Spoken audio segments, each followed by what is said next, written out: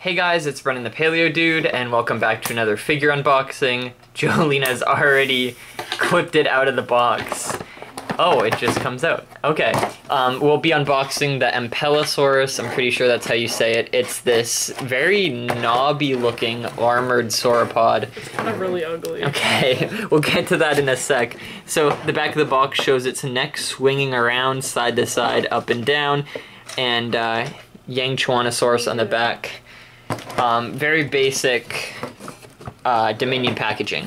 But this is from, I guess, the Wave 2 line, and we'll be seeing that weird Spinosaur in the Wave 3 line. Um, but yeah, you can see the jaw opens and closes nicely around the teeth. Um, you can look in there.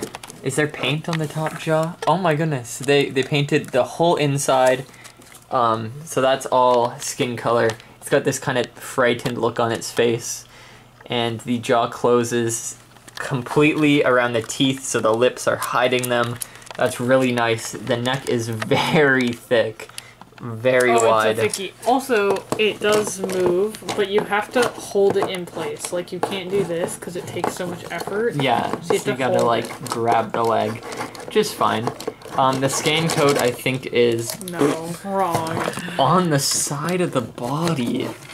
Foul. And it's a different color and not shiny. Like Oh, who made shoot. it a different brown and matte? That's pretty bad. Usually Mattel is a little bit better with that, but that's that is uh, not good.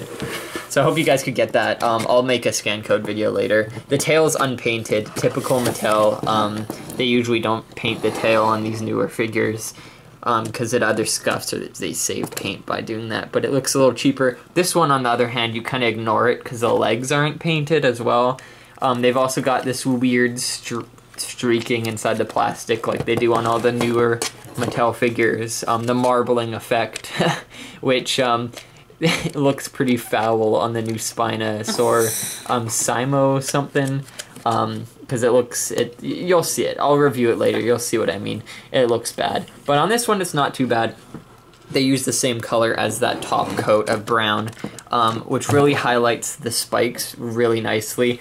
This dragon-like appearance. Um, I like what they did with that. I'm pretty sure this is a Titanosaur, or else why would they put all that armor on it? Uh, so Titanosaurs are known for their kind of bony osteoderms, um, the little armor scoots underneath the skin, um, and their blunt heads.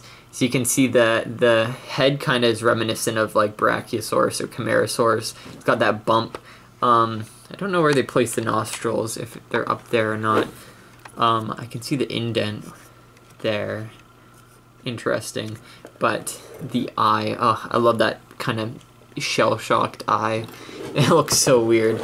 And of course, Mattel has been on the ball, rocking it with highlighting the eyes with different funky colors. So we got a nice blue streak um, patterned on the eye. So this sauropod's a solid mold. It's great, armored, unique. It's small, but they uh, they did it well. And I'm glad that they finally have another sauropod added to the list. And the neck feature is really nice. You can make it reach up to grab food, uh, bend down to drink water, or bite something maybe, and Not swing far around. though. it Not cannot far. bend far. It has to kind of like put its legs in the thought position, It can or not. stretch out into doggy style and Yeah. get some water. yeah. Um, so yeah, Romancing the water. love it. Love that feature. Um, it's like the size of the Indoraptor, which is a little weird to think of a sauropod that small. Where's his arm? We ignore that. what did you do? I got it like that. Chill. um, yeah, so really small sauropod, but clearly can defend itself with its armored body. Um, glad Mattel is branching off and making obscure species, but I'd love to see Camarasaurus and Mamenchisaurus eventually made. It looks like the next roster of dinosaurs next year is just all obscure.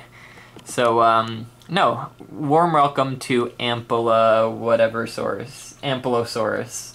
I was halfway there. so, um, tell me what you guys think about this sauropod in the comment section. I'd love to hear your thoughts. And, um, yeah, if you like the video, make sure to like, subscribe, etc. And I'll see you all in the next one. Bye-bye.